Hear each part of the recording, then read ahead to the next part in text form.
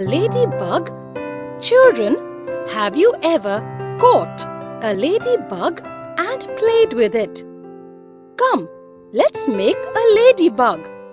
Take a dona, color it with red and black colors as shown in the picture.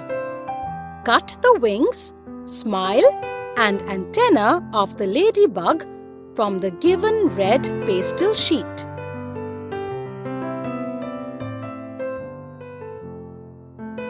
Make dots with the black sketch pen on the wings and paste them on the dona as shown in the picture.